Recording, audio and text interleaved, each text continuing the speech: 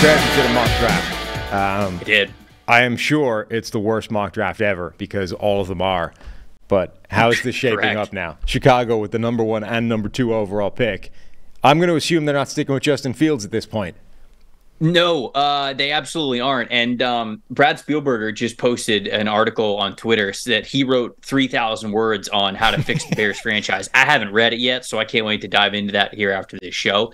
But here in this mock draft, you know, if they're picking number one, it's so obvious they're not going to trade the number one pick again. They're going to be moving on from Justin Fields. And let's be honest, if they're picking number one overall, everyone is probably gone. The entire coaching staff is probably gone. And the only one who might survive it is Ryan Poles. I mm-hmm. don't think at this point, even if they're picking number one overall, that Poles would be gone. But man, there have been some transactions. It feels like that have not looked pretty on uh, guys that Poles have brought in. It's it's highlighted obviously by what's going on with Chase Claypool right now, and so you know, believing in Justin Fields uh, over the quarterback class when CJ Stroud and Anthony Richardson in particular look very, very good. That's a tough pill to swallow. The Chase Claypool trade's obviously a tough pill to swallow. You, know, you get DJ Moore saying to the Buccaneers when they play the team, like, oh, they're not using you right. Yeah, you're telling me is like, all right, that's not great. Yeah. The defensive line can't get after the quarterback. And I know that's kind of a work in progress there, but you spend a ton of money on on two linebackers. And it's like, man, it's uh if they pick number one overall, there will be a case to move on from Ryan Poles, even though I don't think that it would happen and probably would tell you it's a little bit too early. Not every GM is perfect. He's figuring it out. So, all that to say, pick one and two. I ended up going with two offensive players. Caleb Williams goes number one overall. That was the easy one. Number two, I don't want to say is tougher of a selection. This is the one that they got from the Panthers, which yikes. Um, but it's either to me, this one comes down to you're either taking Marvin Harrison Jr. and you're pairing Caleb Williams with an elite wide receiver the second he steps on into the NFL. So you got Marvin Harrison Jr., you got DJ Moore. Or you go with an offensive tackle. And it's a really good offensive tackle class. So a guy like Joe Alt uh, from Notre Dame, guy like Penn State's Olu Fashanu, who could have been a top 10 pick at offensive tackle last year. Maybe you'd rather go with an offensive line pick to say, hey, we're supporting Caleb Williams by making sure that he's not going to die back there. So that was that's kind of my back and forth of I landed on Caleb Williams and Marvin Harrison Jr., but you really could go with um, wide receiver or offensive tackle, I think, for that next pick to help set him up. Yeah, it's the uh, it's the the the next version of the Penei Sewell versus Ja'Marr Chase debate, except you took Yep. the quarterback one pick ahead of them. it's like which guy which guy is going to be uh, the the option. The the one argument I think that would make you I, I don't have a horse in this race. I could be convinced in either direction. Um, but one argument that might make you go for the offensive tackle is just how deep the wide receiver class is every year at this point. Mm-hmm. You, and you can get, you know, their next pick will be the top of the second round. And instead of Chase Claypool, you can actually get somebody that can contribute and maybe be an impact player at the top of the second in wide receiver terms, whereas you're probably not getting that guy on the offensive line at the top of the Right. second, or there's a much steeper drop off at that point. So Yeah, Marvin yeah. Harrison may well be generational, and we talked about him before, but you know, we you look at any of the last few draft classes, you're going to be able to find a wide receiver in the second round that comes in and makes a big impact as well. And if you can get that guy in addition to Caleb Williams, in addition to the the top offensive tackle on the board, now that's a haul that I would get behind.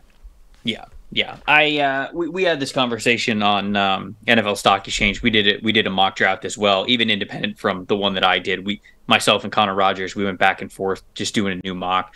He ended up going with Olu Fashanu at two, and that was the conversation that we had. Is Olu looks very, very good in terms of a pass protecting offensive tackle. I mean, the dude moves super well. He's so fluid. He's so dominant at pass blocking already, even as a college player. Needs to get stronger. Needs to be a little bit more of a force in the run game. But I think that's something that could definitely um, be taught. It's very, it- it's a lot tougher to teach those pass blocking tools. So a player like that, even for as special as Marvin Harrison Jr. is, the capitalistic supply and demand of how many of these types of guys are going to be available would probably lend itself towards you taking the offensive line pick and then having Olu as your left tackle and uh, and Darnell Wright as your right tackle for the foreseeable future. So those are the only two undefeated or not undefeated, un lack of win teams. What the un, un, unwind, un, unwinded, yeah, unvictoried teams in the NFL. The, the, only teams that have yet to re- record any kind of victory, and Chicago owns the draft pick for both of them. Uh, the next three teams, um, all one and three. The Las Vegas Raiders at number three, the Denver Broncos number four, the Minnesota Vikings at number five.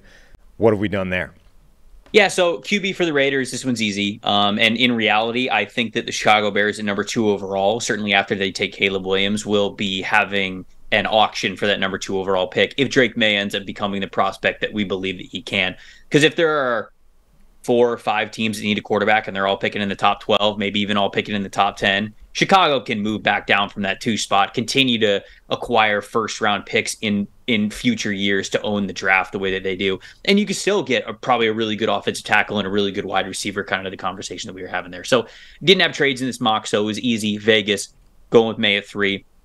Denver Broncos, I didn't have them taking a quarterback just because the Russell Wilson contract is atrocious. And I, I don't know how much you can really get out of that, even if you wanted to. And maybe uh, if there's any head coach that's going to be bold enough to do this, I guess maybe it's it's Sean Payton, but bench a guy who's taking up fifty five million dollars of your cap space because he's just not good enough at quarterback, and you're going to draft what quarterback in this draft? I guess Sean Payton might be crazy enough to do it, but I'm just not convinced of that. So instead, I had him taking an edge rusher. I love Laiatu Latu from UCLA, six foot five, 265 pounds. Uh, just the handwork is brilliant. He's got such a fluid and productive combination of size, speed, and especially flexibility, man. You can put this guy with his hand in the dirt in a three point stance, or he can rush from a two point stance. No matter what, he feels like a, a mismatch for any offensive tackle that he's gone up against. Uh, so he's he is my number four overall pick. He's my number one edge rusher in this draft. And then five Vikings. This is where this is where the mock draft exercise starts to be different from a big board, where I have them taking JJ McCarthy from Michigan. And not only do I not have JJ McCarthy in my top 40 right now, he wouldn't even be my next quarterback off the board. Bo Nix would be the next highest quarterback for me in my rankings. But mock draft exercises are naturally more towards predicting what you think is going to happen. And at this time of year, it's a, it's a little bit of a mix between guys that you want to shout out and guys that you think are first round picks versus kind of what you think is going to happen um, once April rolls around. But it feels like the NFL is higher on McCarthy. It feels like a lot of people are very, very in on him that he's going to be a first round pick. He's playing well this year. This is the best that he's ever looked. You know, you and I talked about this a little bit a couple of shows ago. But it's hard for me to have the Vikings picking at number five and them not taking a quarterback, even if I don't have another one that's close to number five in, on my big board. Because if the Vikings pick at five, you and I have talked about this. Kirk Cousins is not going to be on the team. They're going to have a different quarterback. So what? What I mean, what am I going to do? Give him a corner, and and people are like, okay, well they're picking at five, and you got to pick at a corner, and they're not going to have a quarterback. So I think that kind of um, breaks the exercise a little bit, at least the integrity of what you do mock drafts for. So that's why I ended up having McCarthy going number five because I feel like the league is is is higher on than him on higher on him than I am. And if Minnesota's pick at five, they're going to pick a quarterback. So is he a player? Let's let's fast forward this, you know, however many months we are till till April, and think that's that's going to be the the case. This is this will be the top five. Let's say nothing changes.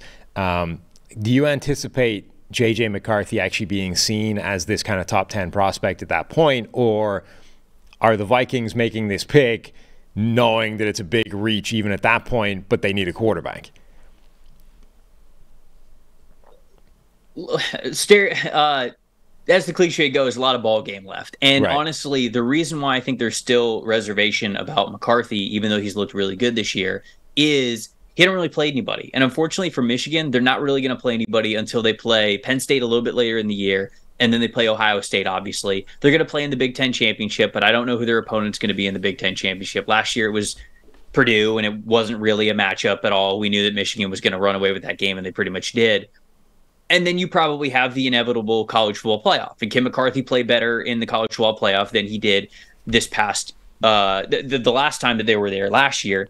Those are the questions that will have to get answered with McCarthy. So I don't think it's going to be nearly as much of an unknown as it is right now of what McCarthy stock is going to be because we will have those games that you can point to and say he played well against good opponents, he played well against good defenses, he played well when the lights were brightest versus right now where you just go yeah, okay, he's playing really well, but Michigan's so far and away more talented in every team that they played. I mean, for goodness sake, Michigan scored scored more than 40 every single game, and they have yet to give up more than 10 points in a single game.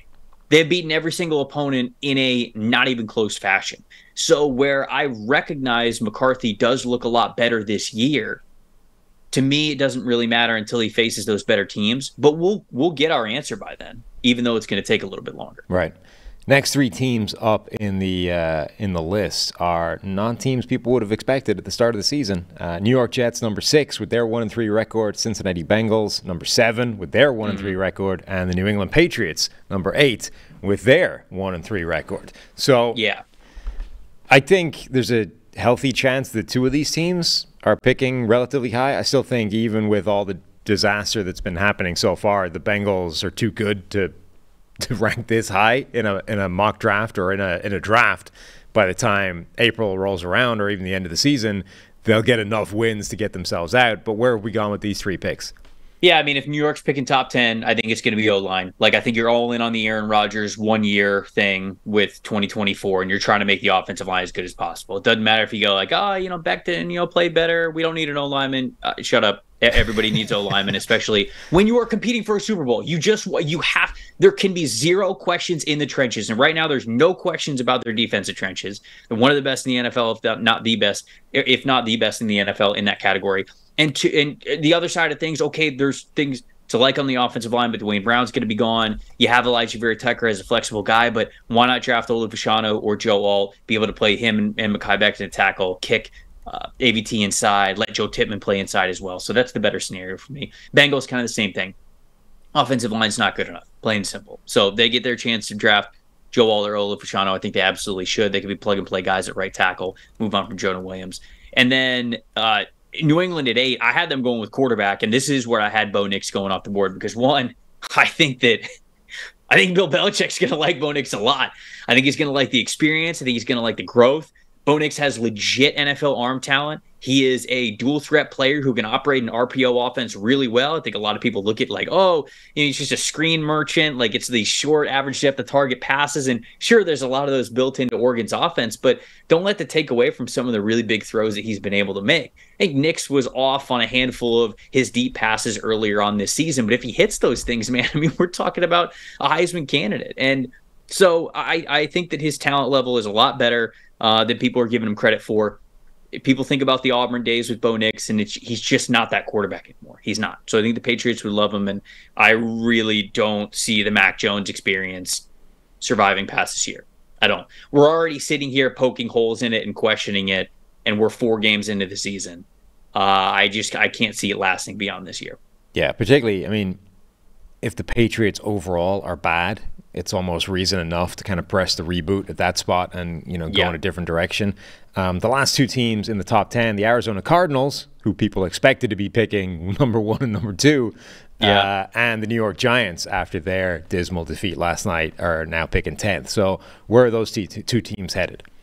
I so I give the Arizona Cardinals Brock Bowers just because he's an insane talent, and even though he's labeled as a tight end, he would be wide receiver one for them. I mean, they would run the offense through that guy. But uh, shout out like Michael Wilson, a wide receiver mm-hmm. that I mm-hmm. really liked in last year's class, who's already shown out and playing well. They're getting some stuff out of Rondale Moore, which is nice. And all of a sudden, if you got Michael Wilson, you got Rondale Moore, you got Brock Bowers. It's not bad. It's not complete. It's not one of the best in the NFL, but it's nice. It's certainly a lot better and you like that building block moving forward on offense. They definitely need help on the defensive side of the football as well. So, you know, an edge rusher here, certainly if they want to take CB1, if they're available, uh, an interior defensive lineman, a Leonard Taylor, a Jer'Zhan Newton, one of those guys on the interior to really shore things up. I think that that could certainly be a target for them as well. But um, rounding it out with the Giants picking in the top 10, we just went over their schedule. I think the Giants are going to end up picking a lot higher than this.